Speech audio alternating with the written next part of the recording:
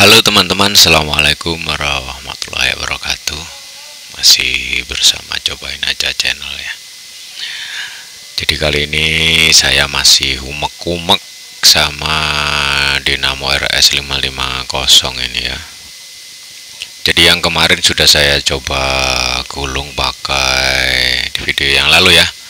Pakai kawat yang sama dengan standar bawaannya saya tambah lilitan dari 30 ke 40 lilitan. Ada kawan di channel-channel yang lain bilang kalau untuk top speed eh bukan top speed ya apa sih?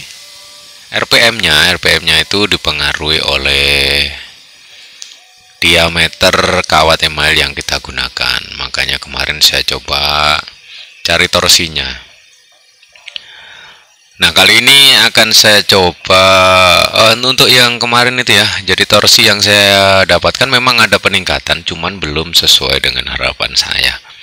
Jadi kali ini saya amat-amati ada dari channel-channel kawan-kawan yang saya lihat ya. Itu kebanyakan dibesarkan. Tetapi ketika dibesarkan ternyata kita kehabisan space untuk jumlah lilitannya ya. Akhirnya ini saya coba untuk ini ya melilit pakai dua kawat. Tujuan saya kalau menggunakan dua kawat ini dia bisa lebih rapat. Tetapi yang saya pikirkan kalau dua kawat mudah-mudahan dia bisa ini ya menjumlah dari ini pakai 4 mili ya 4 mili kalau pakai dua bisa dihitung 8 mili. Ya ini ilmu bodoh-bodohan saya sebenarnya. Tapi saya coba dulu ya. Jadi harapan saya ketika pakai kawat yang lebih kecil dia bisa lebih rapat akhirnya saya dapat space untuk jumlah lilitan. Oh ya tinggi kemarin standarnya 30 ya. Anehnya ada yang satu lilitan itu 35 yang satu 30 yang satu 30 entah kenapa. Ya dia baik-baik saja ya sudahlah. Tapi saya anggap yang dua itu karena 30 ini saya hitung 30 sajalah.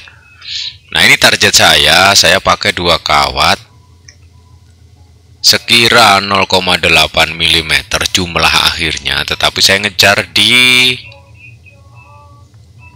30 lilitan entah dapatnya berapa gitu ya. Soalnya kalau menggunakan kawat besar dari 0,4 ke 0,8 jatuhnya nanti tinggal setengah ada yang nyobanya itu 0,8 dapatnya 17 nah sedangkan dinamo ini bekerja di 20 volt 21 volt ya pakai baterai itu ya. Yang gede itu. Jadi saya nggak tega rasanya. Pakai lilitan sedikit nah kayak apa gitu kan. Nah ini saya coba-coba cari cara berbeda ya. Pakai dua kawat email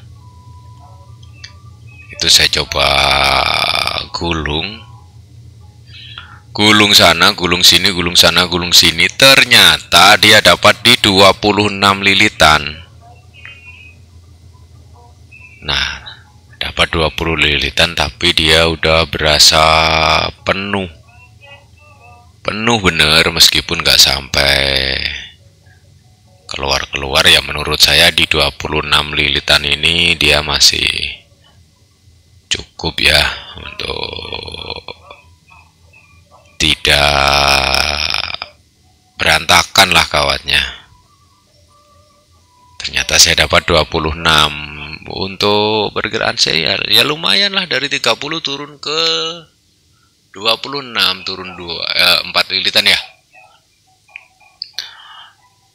Ya cukup berharap sih ini soalnya dinamo ini durasi pemakaiannya. Kalau saya makainya itu hajar terus. Jadi ini yang perlu kita perhatikan kadang kan. Kita cuma ngejar RPM nya nah efeknya nanti apa gitu kan? Ketika kita pakai lilitan yang jumlahnya nggak sesuai dengan tegangan kerja kita. Nah itu panasnya kak. Pasti panas sekali ya. Beda ketika kita gunakan cuman sebentar. Kalau kita gunakan cuman sebentar ya panasnya sudah selesai atau memang dinamonya di tempat terbuka. Gampang saja kita kasih pendinginan yang lain misal kita kipas bodinya kita kasih pendingin kayak macam-macam lah. Bisa tapi ketika kita gunakan untuk alat yang portable dia harus ada di dalam casing kita gunakannya terus menerus maka panas itu pasti akan jadi masalah. Soalnya ketika panas ya masalah itu dimulai lah pada akhirnya akan terbakar atau komponen-komponen yang lain akan terpengaruh ya. Nah ini mudah-mudahan dia kuat gitu ya.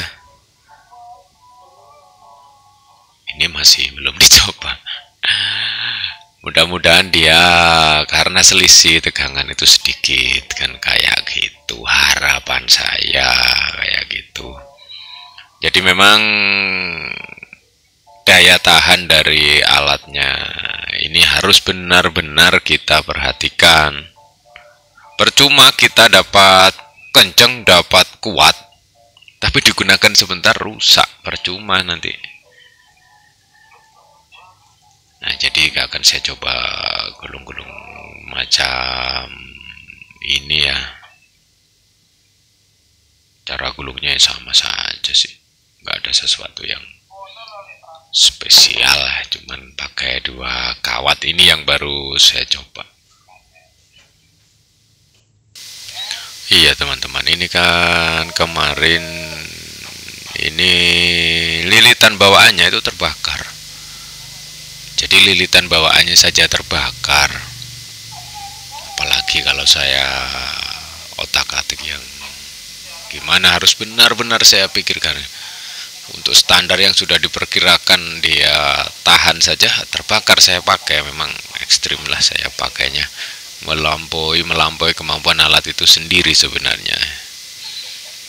Jadi ya ini saya coba gimana biar dia lebih kuat dia biar lebih tahan kayak gitu. Harapan saya. Saya percepat saja untuk penggulungannya ya menggulung dinamo RS 550 ya seperti itu saja lah saya percepat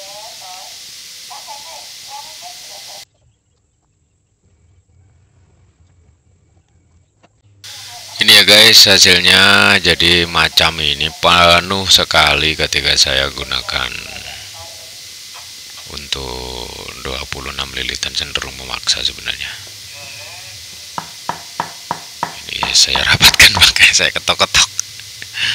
Untuk pin apa sih yang buat nyangkutkan kawat itu? Nah, itu saya ketok-ketok ini dia rapatkan ya soalnya kalau ini kurang rapat ya dia pasti nggak terhubung nanti. Takutnya sih kalau kena panas dia berputar kayak gitu. Bahkan ada kawan-kawan yang solder sajalah di situ daripada nanti ribet. Masuk akal juga sih. Nah ini ya tinggal kita pasang. Ya cara pasangnya ya biasa saja lah nggak ada sesuatu yang yang saya ini kan ya. Ini langsung saya coba ya. Luar biasa teman-teman ya. Tenaganya luar biasa juga kecepatannya ya. Jadi yang biasanya dia ada macam tertahan ketika dia dapat beban yang berat ini ternyata nggak sama sekali dia. Powerful lah. Udah macam pakai gerinda chainsaw yang pakai gerinda itu rasanya kuat sekali untuk tenaganya ya nah. Biasanya ini kalau kayu ini memang lunak cuman dia apa ya kayak ngerem gitu loh serabut-serabutnya. Ternyata ini enggak enggak terasa ya enggak terasa sama sekali kita ditahan sama serabut-serabut dari kayu ini ya. Dari serat-serat kayunya lah maksudnya. Berasa ringan sekali jadi kesimpulannya luar biasa ya. Ini bisalah dicoba untuk kita gulung dinamo DC50 atau yang lain lah. Pakai dua kawat untuk mensiasati jumlah lilitan. Soalnya dia bisa rapat ya. Jadi bisa ini dia. Nah ini pohon yang pohon kopi ini. Ya biasa saya pakai kayak gini. Nah ini seratnya lumayan susah dia ini susah saya sambil pegang kamera. Ternyata nggak berasa nyangkut-nyangkut. Biasanya nyangkut-nyangkut untuk lilitan originalnya saja susah dia. Soalnya serat kayunya ini berantakan kalau kena chainsaw ini. Tapi ternyata ini nggak terasa sama sekali. Itu ya teman-teman. Bisa dibilang sukses ya percobaan kita kali ini. Terima kasih sudah menonton. Terima kasih sudah bergabung di channel ini. Salam sehat. Assalamualaikum warahmatullahi wabarakatuh